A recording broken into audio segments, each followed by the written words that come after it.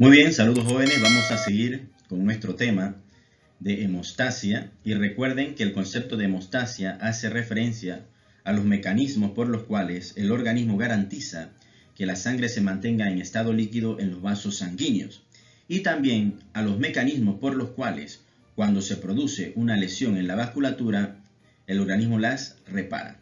Es un procedimiento complejo que consta de una primera parte que es la hemostasia primaria, eh, que el objetivo principal es la formación del tapón plaquetario y una hemostasia secundaria que el objetivo es la formación de fibrina, que va, eh, la formación de una malla de fibrina que le da estabilidad a ese tapón plaquetario.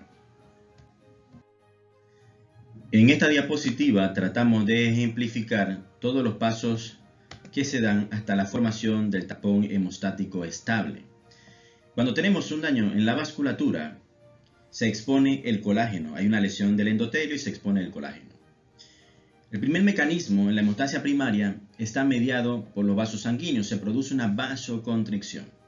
Esa vasoconstricción disminuye el flujo y permite al disminuir el flujo que se produzcan todos los, los, mecanismos relacionados con la adhesión y la agregación plaquetaria. En esta primera etapa, cuando se expone el colágeno, se adhieren las plaquetas en este primer mecanismo que se conoce como adhesión plaquetaria. La adhesión plaquetaria para que se dé requiere el colágeno, el factor de von Willebrand y que las plaquetas tengan el receptor, la glicoproteína 1B9. Cuando eso se da, se produce la adhesión y luego las plaquetas activadas comienzan a liberar tromboxano, ADP y serotonina. La serotonina favorece más vasoconstricción, el tromboxano favorece vasoconstricción y también favorece la agregación plaquetaria junto con el ADP, agregación plaquetaria. Entonces, en la primera etapa tenemos vasoconstricción, tenemos adhesión y luego tenemos la agregación plaquetaria que es muy favorecida por, el tromboxano y el ADP que eh, están en los granos de, de las plaquetas que son liberados posteriormente cuando ellas se han adherido y se han activado.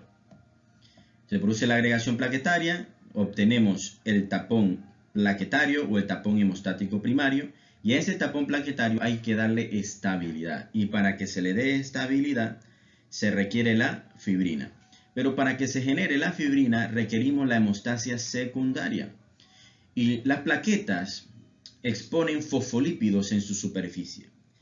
Esas plaquetas activadas exponen estos fosfolípidos y estos fosfolípidos son muy importantes para la coagulación. Y toda la coagulación al final lo que tiene como objetivo es la formación de protrombina a trombina y después el paso de fibrinógeno a fibrina. Y esta fibrina es la que le va a dar estabilidad a este tapón plaquetario. Las alteraciones en la hemostasia primaria bien pueden ser vasculares, por patologías a nivel de la pared vascular, o plaquetarias, ya sea porque las plaquetas estén disminuidas o porque las plaquetas estén disfuncionales. Y podemos tener expresión de esta alteración. La principal expresión PT, que es equimosis o lesiones purpúricas, que son extravasaciones de los glóbulos rojos en la piel o en el tejido o en el tejido subcutáneo. Repasemos nuevamente. Tenemos un daño vascular. Se expone el colágeno. Los vasos sufren vasoconstricción. Disminuye el flujo que favorece los procesos de adhesión y agregación plaquetaria. Las plaquetas se activan, las plaquetas se adhieren al, endotelio afectado, se activan, liberan serotonina que favorece más vasoconstricción, liberan tromboxano y ADP que favorecen la agregación plaquetaria, por consiguiente la formación del tapón plaquetario primario. Pero ese tapón plaquetario primario hay que darle estabilidad y para darle estabilidad yo necesito la participación del fosfolípido que tienen las plaquetas que han sido activadas en su superficie y viene toda la activación de la cascada de la coagulación, modelo celular de la coagulación, que nos permite obtener trombina, después el paso de fibrinógeno a fibrina y esta fibrina es la que le va a dar estabilidad al tapón plaquetario. Recuerden que hay dos medicamentos muy importantes que actúan como antiagregantes plaquetarios. Esto es la aspirina y el clopidogrel. La aspirina que bloquea la generación del tromboxano A2 y el clopidogrel que bloquea el ADP. Por esto que tanto la aspirina como el clopidogrel son medicamentos antiagregantes plaquetarios y si los pacientes tuviesen un trauma significativo, pudiesen tener cierto riesgo de mayor sangrado porque las plaquetas estarían disfuncionales, pero esto usualmente aplica para traumas o procedimientos, mayores. Muy bien, muy bien. Entonces, en la fisiopatología de la hemostasia, en la hemostasia primaria, vamos, vamos a tener una interacción entre vaso sanguíneo, eh, factor de von Willebrand, plaquetas, glicoproteínas, para formar un tapón plaquetario, que este se le conoce como un tapón plaquetario blanco o un trombo blanco rico en plaquetas. Porque cuando el tapón ya tiene las mallas de fibrina alrededor, se le conoce como un tapón rojo. Vamos, estos son, solo son conceptos, pero lo más importante es la fisiopatología de la generación de ellos. ¿no? El vaso sanguíneo con el endotelio usualmente tienen eh, propiedades antitrombóticas. Ellos íntegros tienen que evitar la formación de, coágulos en el, endotelio, si no es patológico. Pero cuando el endotelio sufre una lesión, una, agregación, una, una agresión externa, una lesión, las propiedades antitrombóticas se transforman en propiedades protrombóticas, porque ahora al haber una lesión tienen que formarse un trombo para evitar que a través de esa lesión exista pérdida sanguínea. Entonces es un, un equilibrio muy delgado entre mantener la hemostasia con efectos antitrombóticos del endotelio que inhiben la activación de la plaqueta, la inhiben la coagulación y activan la fibrinólisis por si hay un coagulito ahí perdido, eliminarlo, pero si existe una lesión en, el endotelio vascular, las propiedades antitrombóticas se transforman en propiedades protrombóticas, porque lo que hay es que obstruir o tapar el área que se ha lesionado en el endotelio vascular. En esta diapositiva podemos ver la ejemplificación de una plaqueta. Y la plaqueta está formada por una membrana donde se van a encontrar las glicoproteínas, por ejemplo la 1B9 y la 2B3A, este sistema de túbulos o canalículos, los gránulos densos y gránulos alfa, que son los que van a contener calcio, serotonina, ADP y ATP en el caso de los gránulos densos. En el, caso de los gránulos alfa, factor de von fibrinógeno, factores de la coagulación, como el factor 5, el 11, la proteína S. Cuando las plaquetas se activan, las plaquetas que son discoides se convierten en esféricas y permite que este sistema tubular o canalículos entren en contacto con los gránulos para que los gránulos puedan liberar su contenido.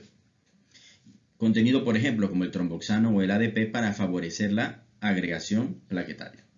Otro concepto muy importante es que el 80% de las plaquetas que se producen a nivel de la médula ósea se encuentran circulando y un 20-30% se van a encontrar secuestradas normalmente, fisiopatológicamente normales, en la pulpa roja del vaso.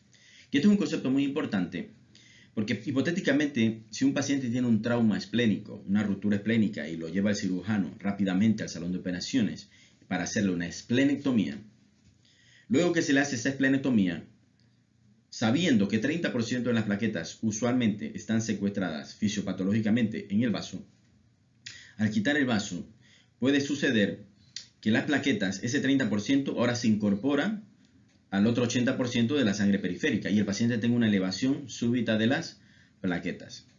Es por esto que todo paciente que se le realice una esplenectomía tiene que tener tromboprofilaxis para evitar el desarrollo de un evento tromboembólico venoso.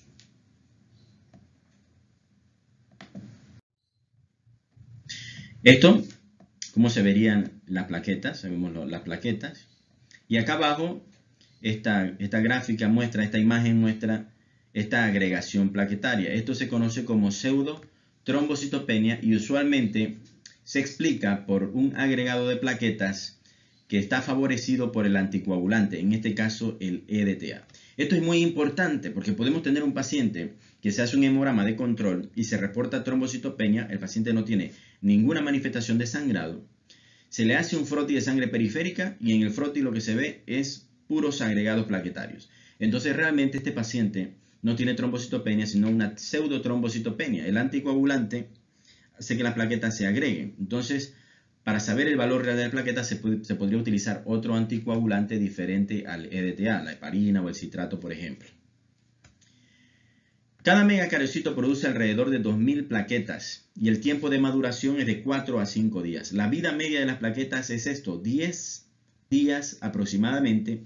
Y a nivel hepático y un poco a nivel renal se produce la trombopoyetina que estimula a los megacariocitos para que exista aumento de la producción de las plaquetas. Entonces podemos tener una regulación eh, positiva que es que cuando el paciente tiene trombocitopenia, aumenta la trombopoyetina que a nivel de la médula ósea va a aumentar la producción de plaquetas. Pero si las plaquetas están normales, la trombopoyetina no aumenta y la trombopoyetina que esté circulando en sangre se une a las plaquetas y no queda libre efectivamente para ir a la médula ósea y estimular la producción de plaquetas, porque realmente no se necesita. El paciente tiene un adecuado control de un conteo de plaquetas.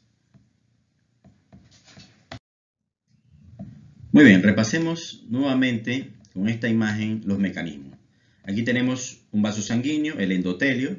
El endotelio, eh, a través de los cuerpos de Wave paladas, producen el factor de von Willebrand. También lo puede liberar las plaquetas, pero el endotelio también lo produce.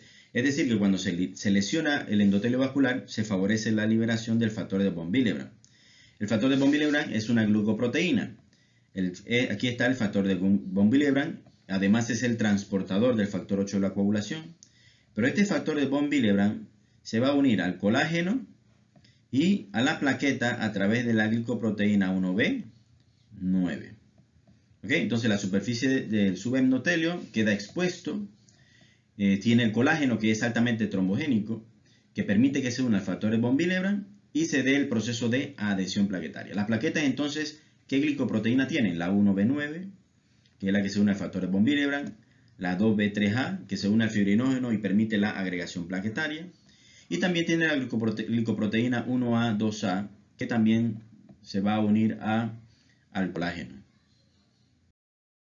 Veamos en esta diapositiva, tenemos la iniciación de la hemostasia primaria, inicia, aquí las plaquetas están en reposo, no están activadas, se produce una lesión vascular, una lesión al endotelio vascular, el factor de von Willebrand se une al colágeno y las plaquetas se unen al factor de von a través de la glicoproteína 1B9.